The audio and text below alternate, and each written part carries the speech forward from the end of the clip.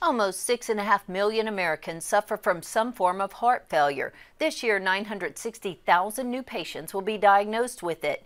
Medication helps many people, but when it doesn't, their only option is a heart transplant. Now, a new device is sparking life into failing hearts.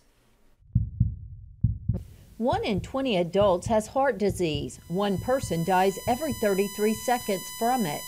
It's the leading cause of death for both men and women. When you have weak heart muscle, you can either die because of progressive heart muscle dysfunction or because of sudden death. Treatments include medication, stents, bypass surgery, and pacemakers. But now there's a new way to keep hearts beating.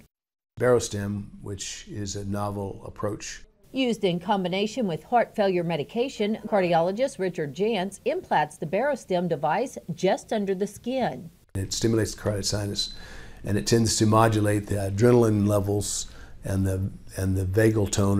Baroreceptors are responsible for telling the nervous system how to regulate heart, kidney, and vascular function. By activating proper regulation of these functions, the workload on the heart is reduced, helping it to pump more effectively. Improves your quality of life and your functional capacity, reduces your risk for hospitalization, but it also improves the likelihood that you would not require a heart transplant or a ventricular assist device. It was the only thing that helped Eric Berkowitz. Now, since I have the device, I can walk a two mile track uh, with him and not be panting. He pants more than I do. Barostim helping Eric and Bobo keep on walking.